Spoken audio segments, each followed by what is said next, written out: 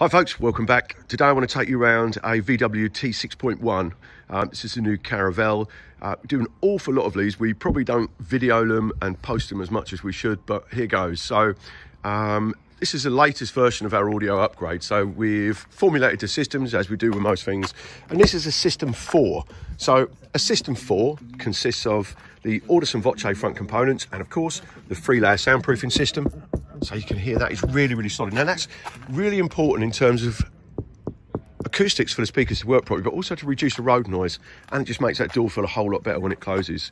So that's the Voce mid bass in now. And in the top here, we've got the Voce tweeter. So we've got this rather funky um, little panel which we route out and then we trim in Alcantara and we rebate the tweeter in there. So you can't keep them behind the factory grills because they're two directional. It makes a big difference in terms of sound quality. So if you put them behind the factory grills, everywhere you sit in a car, you move your head backwards and forwards, it totally changes the sound of the system. That's no good whatsoever. So you have to expose the tweeter in this particular installation, which is what we've done there. Now, because it's a System 4, it means it has a DSP. So it's the Hertz H8 DSP, which the display for it just sits up here. So it's a little panel up there. Again, we trimmed that in Alcantara. It doesn't have to go there, but that's where this customer opted for it. We've also incidentally added Thinkware Q800 witness cameras, so you've got a front and rear camera system there. Front cameras, 2K resolution. Rear camera, which you can't really see from here because it's tiny, is 1080p, it's just sitting at the back there. The System 4 also includes a JL Audio subwoofer, which is tucked underneath this seat. The JL Audio amplifier and passive crossovers are tucked under that seat. You can't see anything at all. Everything's completely hidden. The sound, as you'd imagine, is quite amazing. These new head units are very, very good. Apple CarPlay, wireless Apple CarPlay, etc. The outputs are pretty clean. So once we stick that through the processor, which we do in a System 4, we can give you amazing sound quality without changing the head unit. Obviously, if it's an earlier model, we'd probably want to think about changing the head unit. If we change a head unit, you don't necessarily need a System 4. The System 4 includes a DSP. If we're going for an aftermarket head unit like a Pioneer Double DIN, we don't necessarily need the DSP. So then we can drop down to a System 3 which obviously saves some money. Get in touch if you want us to send you out a price list. We're in the process of updating the website at the moment, but I can tell you a System 4, which you're looking at here, is currently just under £2,500 fitted, so it's pretty good value. It's June 2021 at the moment. That could, of course, change, especially with everything that's going on in the world.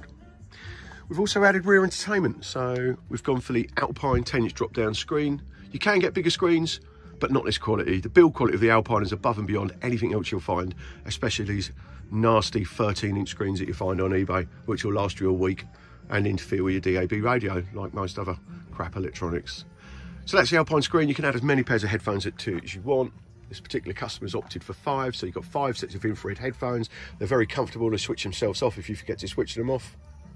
You've got HDMI inputs on there, so as well as DVD player, you've got a HDMI input, so you can stream to it and stuff like that pretty funky bit of kit when it's not being used. It just closes up. We fit these properly, of course. So we put bracing right the way through the head, uh, the roof section there. So it's picked up on the um, strengthening in the roof bars. And then we build a plinth underneath that and screens mounted to that. So with our screens, you could swing, pick up the car by it if that was possible. So there you go. It's a System 4, witness cameras, rear entertainment. Oh, and we almost forgot, put a Meta-Trak deadlock on here. So these little fobs for the deadlock. So that's a Meta tracking system and a mobiliser. Quite clever. It actually enables you to deadlock the vehicle. So if you're leaving it somewhere dodgy, go to your mobile phone, select deadlock on your app, shut the vehicle down. Even if someone nicks your keys, they can't start the car. You can also program it so the vehicle won't start without the fobs. Or you can set it so it just gives you a notification if the ignition is turned on without the fobs. So that's the Meta Deadlock. Definitely our favourite tracking system. Okay, Hopefully it's given you a little insight what we can do in a T6 or a T5. As I say, we see lots of them. We probably need to publicise them a little bit better. If you're interested in doing something with yours, just get in touch.